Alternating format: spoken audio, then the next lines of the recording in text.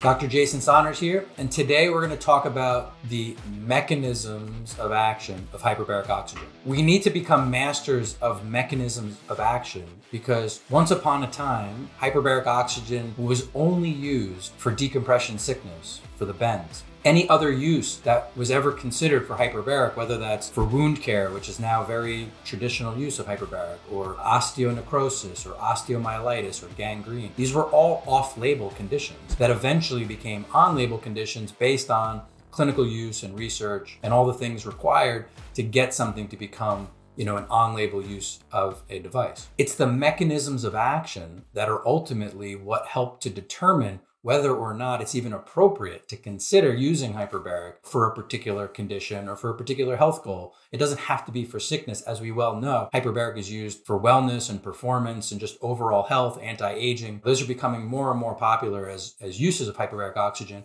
and for good reason. And once you understand the mechanisms and really, really uh, key into what those mechanisms are, if you can apply those mechanisms to what the health goals are or what the condition might be, then you could start to make practical use of hyperbaric oxygen for the people either in your life or the patients that you treat or for yourself. There are a multitude of benefits of hyperbaric increased energy or ATP formation, a balancing of the reactive oxygen species inside your body, angiogenesis, which is the rebuilding of new blood vessels. It helps to reduce swelling, it increases perfusion, it decreases inflammation, increases mitochondria and the number of mitochondria that your body has or your cells have, increases superoxide dismutase, which is a way that your body handles free radicals, helps balance epigenetic expression, helps to balance and regulate your immune system. It does all of these things inside of our body through a varied type of hyperoxia, hypoxia exposure. In other words, going into the chamber gives you all this extra oxygen.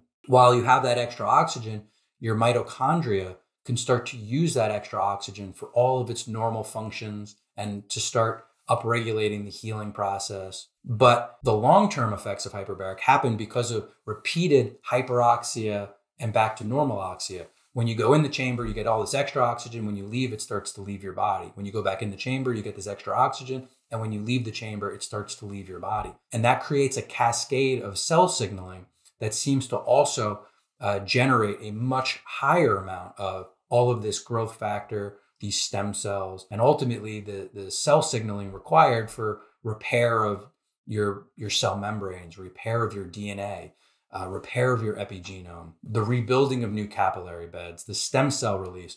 All of these seem to be much more uh, as a result of the cell signaling cascade from the repetitive hyperbaric exposures over the course of weeks and months. And so there's a handful of mechanisms of action that have been pretty well documented throughout researching hyperbaric oxygen, even through all the 14, you know, traditional uses of hyperbaric it's the same mechanisms that show up over and over again. And I'm going to read through those just to give you what they are and explain what they mean. Those are the mechanisms that we then need to use to say, is it appropriate for these other conditions, these off label or ultimately over 100 internationally recognized indications for hyperbaric? Would it be appropriate that these mechanisms would help these conditions and or these mechanisms help, you know, performance or recovery you know, even with uh, with healthy people. The first one is decreasing bubble size, and really that's the main indication that relates back to decompression sickness and the bends. For the majority of the cases that we're going to talk about, decrease in bubble size is really not that critical, but that is the initial mechanisms of action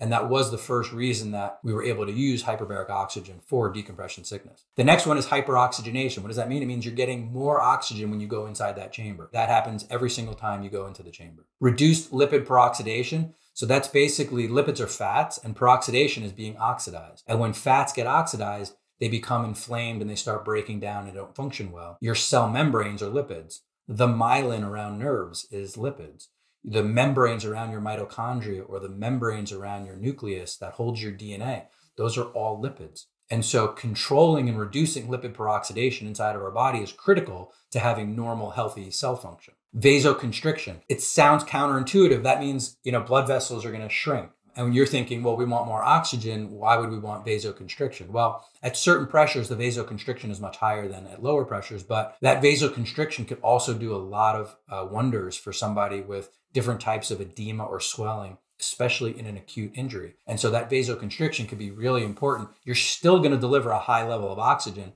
whether there's vasoconstriction or not. But the vasoconstriction can help really minimize swelling or inflammation in an area. Reduced cytokine response. What does that mean? That means literally reducing inflammation. So through hyperbaric oxygen, it not only reduces the inflammatory uh, interleukins and TNF alpha, but it also helps to stimulate our own body's anti inflammatory cytokines.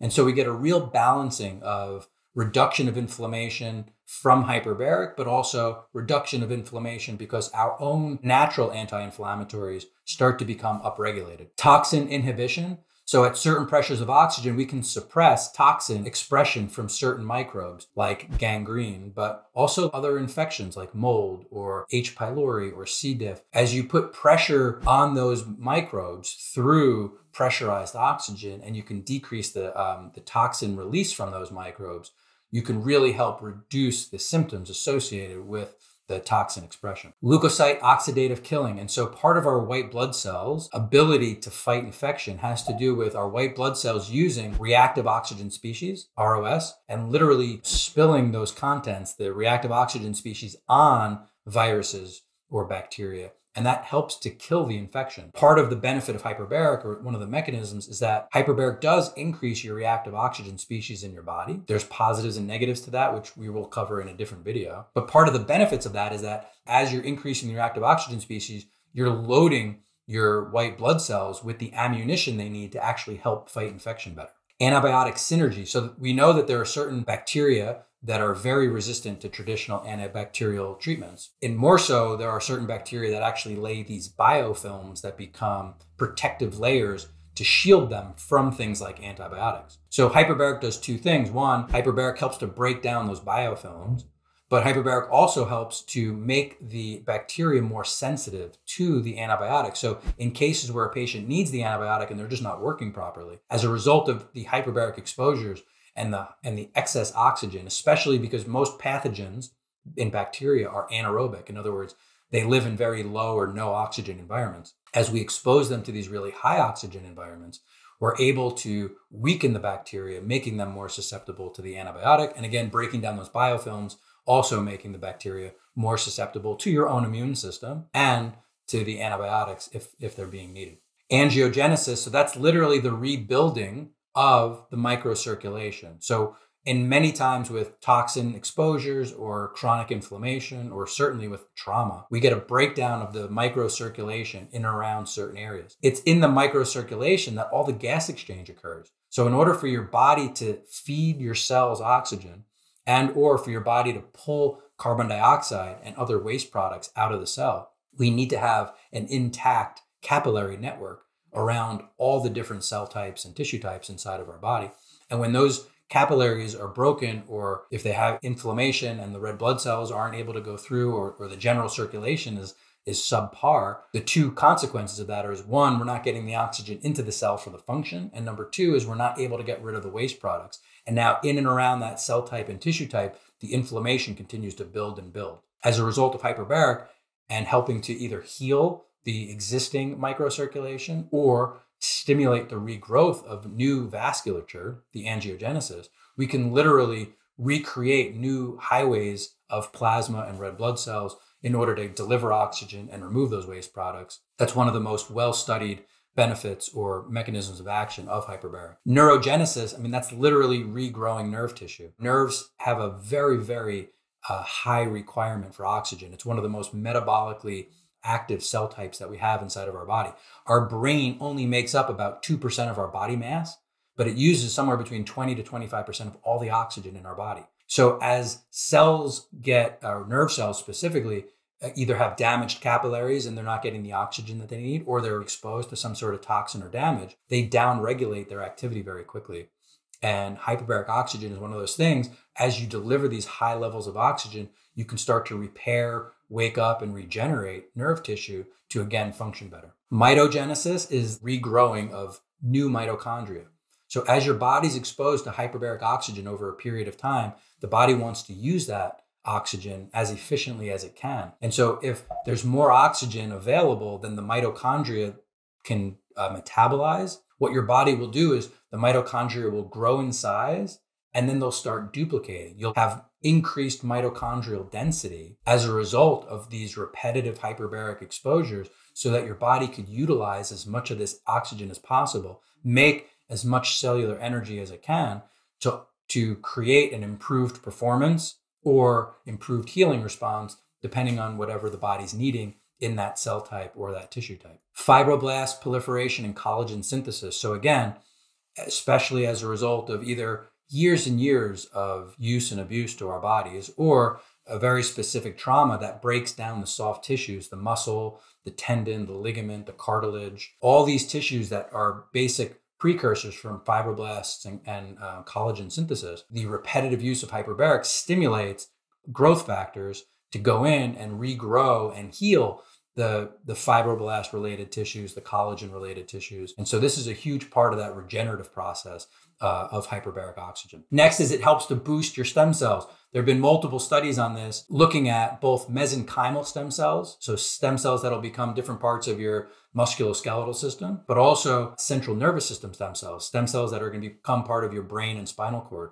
And there's up to an eight times increase in stem cell production as a result of hyperbaric oxygen. And then one of the newer ones, which came out from a paper uh, about two years ago at this point, 2019, increased telomere length. And so what we know about telomeres is that you know they're protective caps on the ends of your DNA, and we understand that cells that are uh, aging faster or exposed to more oxidation or breaking down at a faster rate tend to have shorter telomeres. And so the assumption is that uh, as cells break down and age, and especially age faster, those telomeres keep breaking down faster and faster. In many ways, we're looking at through nutrition or exercise or other modalities can we slow the process of telomere degradation? This paper that came out a couple years ago actually showed the beginning of what should be considered literal regrowing of telomeres. And so this is one of the first times that a modality has been shown not only to slow the degradation process, but actually to regrow. And this paper showed a 20% increase in telomere length after about two months worth of treatment.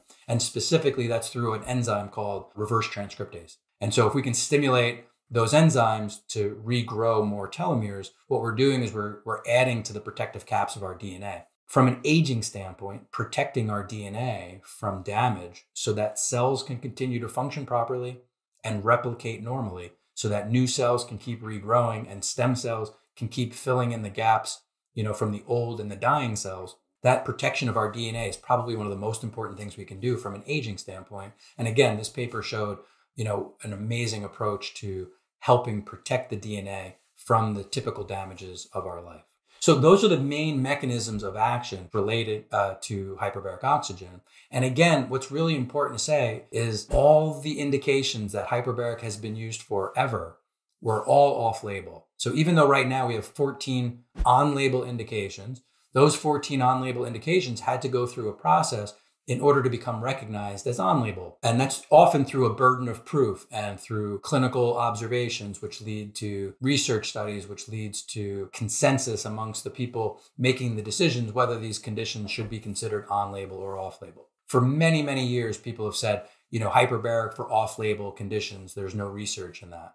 And while I'll say it's been limited for many, many years, over the last eight to 10 years, and really in the last four or five years, the amount of research available for hyperbaric for so many of the hundred other internationally recognized conditions has grown tremendously. Year after year, we're getting more and more papers showing that hyperbaric does help with so many different conditions. But it's not that they're curing the condition. Even when we talk about it from a non label standpoint, it's not curing the condition. It's because of these mechanisms of action. And when these mechanisms of action are at work, cells start to heal, inflammation starts to reduce, stem cells are released, growth factors are released, and we start to see the effects on cell performance, on tissue type performance, on regenerative nature of hyperbaric, and ultimately on the chronic inflammation and or aging process. And, and there's so much evidence that's coming out now to prove it. And, and there's more in store over the next couple years, I know, uh, that's going to continue to mount that, that evidence to support hyperbaric oxygen for all these other cases. But again, whether they become on label or not is less important to me than can we can we understand the mechanisms of action and can we properly apply a therapy for a particular health goal understanding those mechanisms and therefore applying the therapy properly. And that is the mechanisms of action of hyperbaric. And we can now utilize those to be more efficient and make sure that we're keeping patients safe and ultimately being very effective with the therapy that we're using. So thanks again, and uh, we'll see you next time.